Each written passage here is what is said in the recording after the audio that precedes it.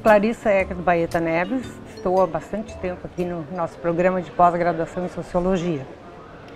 Eu trabalho com o tema da educação, coordeno também o grupo de estudos sobre a universidade, GEL eh. Eh, nesse grupo e na linha de pesquisa Sociedade de Conhecimento, eh, o foco é educação de um modo amplo, mas especificamente a minha área de pesquisa também é ensino superior. Ou seja, eu faço uma sociologia sobre ensino superior. Então, os temas que nós trabalhamos é, são muito ligados a políticas de ensino superior, por exemplo, no momento as políticas de inclusão social, como o programa ProUni, como as cotas nas universidades federais e bônus nas universidades estaduais. Né? Essas pesquisas são muito importantes porque a gente é, busca entender um pouco é, a trajetória dos alunos que chegam através dessas políticas à universidade as dificuldades que eles têm no acesso, por exemplo, à universidade, mas por outro lado, se fica muito claro como é importante para esses alunos que talvez não tivessem outras é, condições de entrar numa universidade pública, por exemplo, que é extremamente competitivo, é, como para esses alunos essas políticas são fundamentais. Né?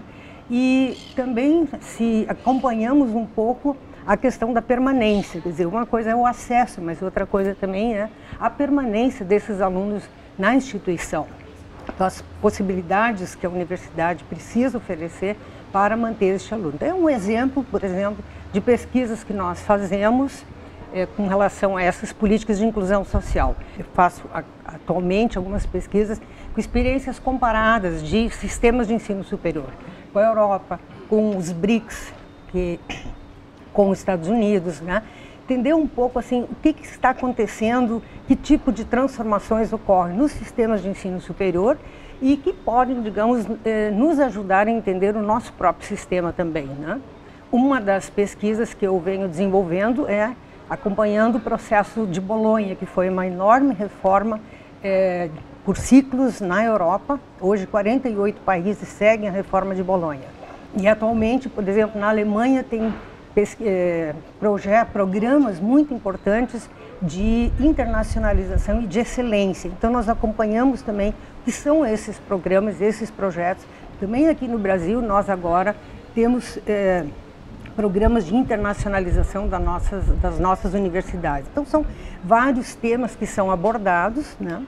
É, falo mais aqui dessas de, ligados ao ensino superior, mas eu também oriento, e no nosso grupo temos pesquisas que falam, tratam da questão educacional. Por exemplo, é, dificuldades nas escolas, relação professor-aluno nas escolas. Um aluno doutorando meu, no momento, está trabalhando com a questão da parentalidade, ou seja, envolvimento dos pais é, na trajetória dos filhos, especialmente no ensino médio. Uma outra tese de doutorado que um aluno está fazendo trabalha com a questão das eh, desigualdades na escola, como a escola lida com a questão das desigualdades entre os alunos, são vários temas. Né? Os resultados que aparecem na forma de relatórios de pesquisa, dissertações de mestrado, teses de doutorado, são todos publicizados, estão eh, online, ou seja, o público de modo geral pode ter acesso a essa produção que é muito importante, né? é, que mostra, por exemplo, como a educação é um campo que é fundamental de ser estudado para entender quais são os processos, digamos assim, ou as dificuldades que passa, que essa instituição passa, é, quais são outros projetos, digamos assim, interessantes, projetos positivos, né? É, então, é preciso, a escola é um objeto que é fundamental de ser estudado para saber que está acontecendo neste campo. Né?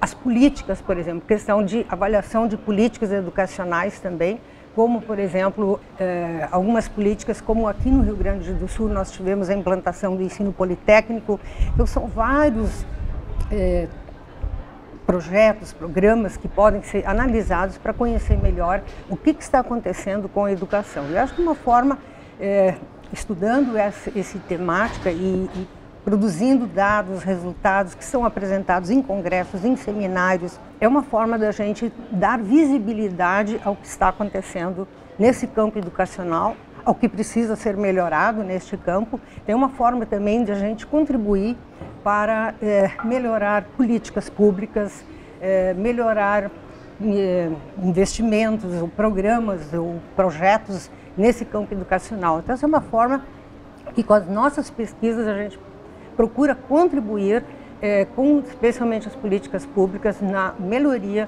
das condições, digamos, e do trabalho no campo da educação.